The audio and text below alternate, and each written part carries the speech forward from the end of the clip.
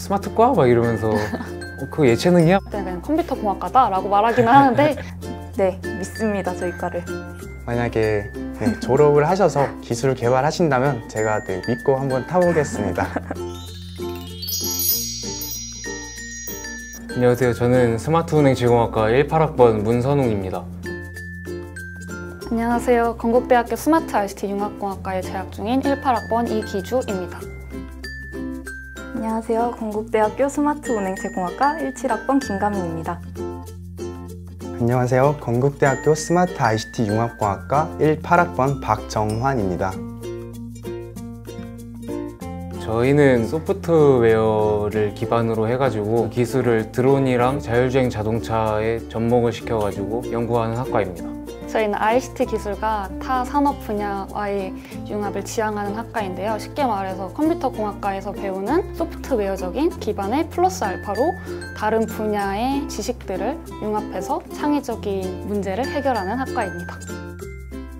저희는 그냥 커리큘럼을 쭉 말씀드리자면 1, 2학년 때는 ICT 개론이라든지 컴퓨터 프로그래밍, 자료구조처럼 전공 기초를 탄탄하게 다지고요. 이제 고학년이 되면 인공지능, 사물 인터넷, 웨어러블 컴퓨터, 스마트 미디어 이렇게 뭐 세분화된 전공을 선택하게 되고 이 선택한 전공들과 플러스로 다전공에서 얻은 지식들을 기반으로 해서 융합 프로젝트를 진행하게 됩니다. 그래서 융합 프로젝트가 아마 저희 스마트 ICT 융합공학과의 꽃이 아닐까 생각합니다.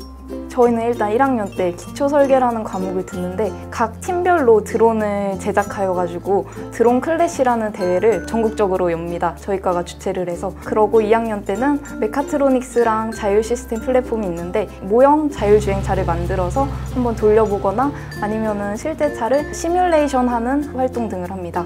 그리고 3학년 때는 운행체 전자실험이란 과목이 있는데 저희 과에 KUSV라는 자동차가 하나가 있습니다. 그거를 실제로 자율주행 자동차로 움직일 수 있게 프로젝트를 하는 게 시그니처입니다.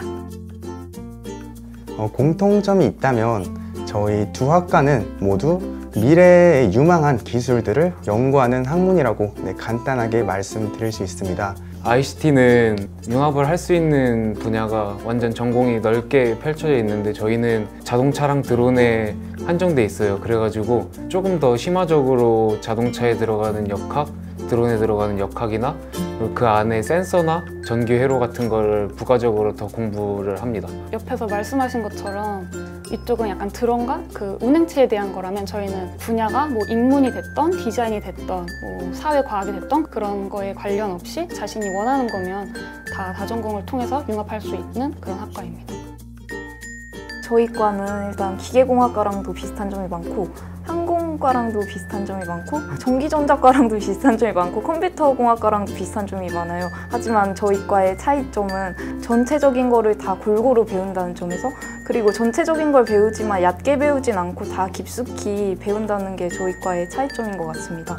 지원을 할 때에도 다른 대학교 컴퓨터공학과 그리고 건대 스마트 ICT 비교하는 경우를 많이 보았습니다. 그래서 차이를 들자면 컴퓨터공학과나 소프트웨어 학과는 소프트웨어적인 역량만을 키우는데 이와 달리 저희 학과는 소프트웨어적인 역량을 기초를 하여서 하드웨어적인 역량을 첨부하고 인문학적인 역량 또한 첨가를 하여서 어, 사회에 나갔을 때 다른 학과들보다 더욱더 경쟁력 있는 그러한 인재를 양성할 수 있는 학과라고 말씀드리고 싶습니다.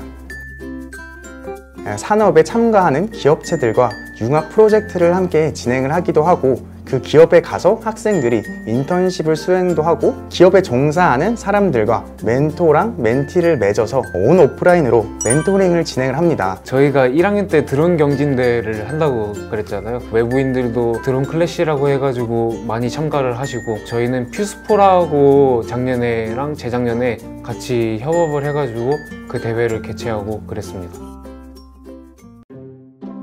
시스템 자체를 구축하는 일이거나 차나 차에 대한 통신, 차랑 사람에 대한 통신 이런 것 쪽으로 많이 진출을 할 것 같습니다. 자동차 회사나 뭐 항공 쪽으로만 가겠다고 편견을 가지실 수도 있는데 물론 자동차 회사의 자율주행 엔지니어로도 많이 가지만 회사들도 가기에 되게 적합한 공부를 많이 한다고 생각합니다. 그 빅데이터 분석 전문가가 되어서 신약 개발을 한다든지 약간 IoT 전문가가 되어서 뭐 홈케어 서비스를 만든다든지 그리고 뭐 인공지능 개발자 등 아주 다양합니다. 또 저희 학과 특성상 굉장히 많은 친구들이 각자 자신의 스토리와 자신의 강점, 무기를 갖고 알아서 길들을 가고 있기 때문에 그래도 소프트웨어라는 거는 공통점이니까 관련된 기획자나 아니면 개발자 쪽으로 많이 빠질 것 같아요. 일단 물리를 기본적으로 많이 알아야 되니까 수학이나 물리는 기본적으로 공부를 하면 좋을 것 같고 그리고 프로그래밍 언어가 뭔지 기초적인 부분에 대해 이해를 하는 것도 되게 좋다고 생각합니다. 그리고 자동차에 관심이 있다면 저희 과를 적극 추천하고 드론도 한번 날려보는 것도 추천합니다. 저희 두 학과가 모두 신설학과이다 보니까 아마 정보가 많이 없을 거예요. 그래서 이 학과가 무슨 학과인지 몰라서 흥미는 있지만 약간 지원을 망설이시는 분들이 아마 많을 것 같습니다. 그 인스타 아이디를 남겨놓을 테니 네, 편하게 DM 주시면 친절하게 답변 드리도록 하겠습니다. 저희 학과만의 메리트가 상당히 많고 사람들도 소수과다 보니까 되게 돈독해요 좀 사이가 그래가지고 되게 좋은 학과니까 그 고등학교 공부에 열심히 준비를 하셔가지고 제가 군대 다녀와서 볼 수 있었으면 좋겠습니다. 저희 학과는 4차 산업혁명 사회에서 요구하는 인재를 양성하는 굉장히 좋은 학과라고 생각을 하고요. 그러니까 열심히 공부하셔서 학교 오시고 좋은 교수님들과 좋은 친구들과 어, 좋은 꿈을 이뤄 나가셨으면 좋겠습니다. 아 코딩 코딩 조, 조금만 해보세요 코딩. 이 영상을 군대에서 볼 친구들도 있겠지만 나 유튜브 나왔어. 언제 가세요? 저는 우시, 우시는데요? 하나, 둘, 셋. 화이팅! 와, 수고하셨습니다. 수고하셨습니다.